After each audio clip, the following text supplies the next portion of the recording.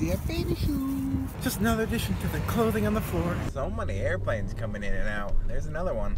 I think that's the fifth one I've seen since I've been on this road. The Queen City, I'm leaving you today. Charlotte, you've been nice. In the middle of this industrial park, we've got a giant 22 foot iron face that if you catch it at the right time actually moves because all these metal plates move in and out. Today the motor's not running. He also spits water. If you can catch him at the right time. He seems to be hibernating right now.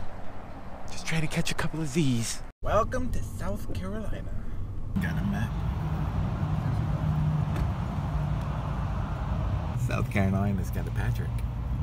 I even found an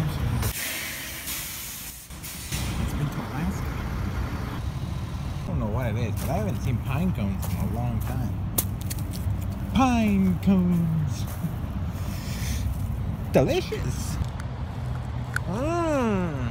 Pine cones! Oh my goodness, they're my favorite. Mmm, delicious. Ow. Traffic? Traffic is running. Tech Times Patrick, bum, bum, bum. Tech Times, I'm the Pat Venture. This is the Lume Cube. I think it might help the GoPro 5 at nighttime. As you know, if you have a GoPro 5 or any GoPro for that matter, it's horrible at nighttime. I referred to it yesterday as a reverse vampire, as in vampires like the night. GoPros can't can't do it. What's up, GoPro? What are you stopping recording already? Just take you around the box a little bit. The cool thing about this, I think, is that you can control it with the app. You can control how bright, the duration of the flash. It can be used as a flash or as a video light. Want to shoot at night? Now you're not just working with shadows. You can actually see. It works with cell phones. It works with GoPros. It works with drones. It works with DSLR cameras. It works with a lot of things. Waterproof up to 100 feet.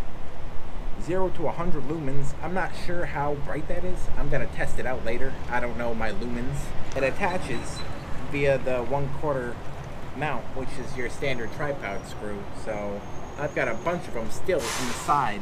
I've got another one in the side of my camera here. So it's going to go right on the side right there. Rechargeable, which I like. You don't have to deal with batteries. Looks really nice, really durable. About the size of like a GoPro Session. I don't know the I don't have anything to open it up with as usual. You know, never prepared, but just got an upper box for presentation and the lower box, all business. Like Drake flies in the front of the plane, but I haven't flown with y'all in a minute. it's like just a cable. Stickers, some instructions, and a caution. And this is not a toy. Not, not one of those blocks you can stick into the into the circle spot. Although, probably could fit this into one of those toys. Oh yeah, I don't even need one of those Betty things. what are they called? Spinning Betties? Because I could spin it right under here. I'm thinking of bouncing Betty. Really small. Like I said before, about the size of a GoPro session. I'm pretty, uh, pretty excited to use it. I don't know. It doesn't come with any charge. Oh, yeah, it does. Okay, that's that's the flash. Just keep on getting brighter and brighter.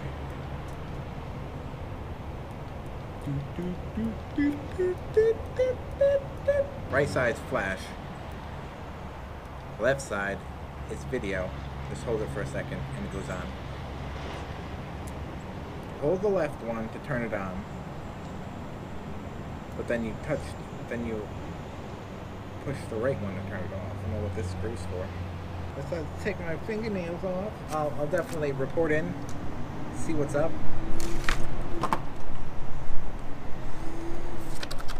And it's going to be super good. I wanted to unbox it before I went to this next site. This next site's going to be pretty cool. It's some sort of like abandoned Disney World of sorts. So I figured, what a better spot than to go into like an abandoned area and actually be able to use light because you know abandoned houses don't have light except for the sun so that's my idea for using GoPro at nighttime I think it's a good idea in theory you add a flashlight I don't want to get a huge flashlight and have to be lugging it all over the place this thing's just pocketable not very heavy I think they said like an inch and a half cube. You know, I mean, it's it's the size of a session. I mean, it's it's not big at all. Was thinking about getting one of those big tactical mag lights, but then I was like, who wants to carry that around?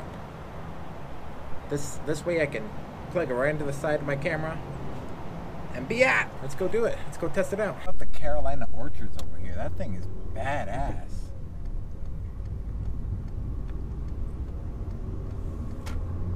I love water wheels. I also love wagon wheels. And I want you to, hey, mama rock me. Building something over here. Alright, it's totally dark. The GoPro cannot see anything. The vampires might be out, but the GoPro wants to be in. Calling it quits for the night. And I've got the Lume Cube in my hand to see if it's going to make a difference. Okay, this is just standard flashlight. You really can't see much with it. But as you go up the ranks, and it starts to hit that wall in front of me,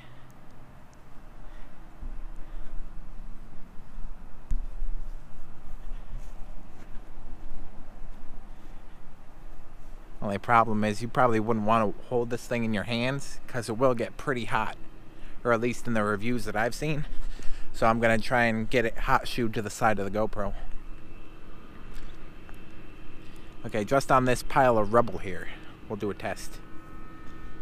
This is just normal flashlight.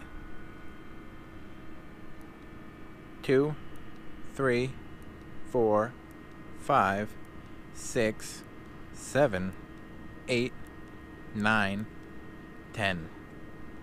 Now it can last 20 minutes on the highest setting, which is 10.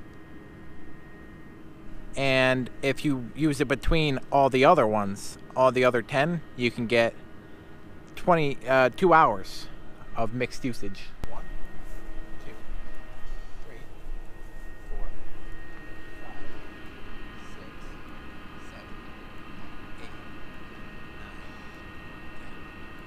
But it is starting to heat up a little bit. On two minutes. On that note, I'm gonna tell you all a very scary ghost story. No, I'm gonna end this episode.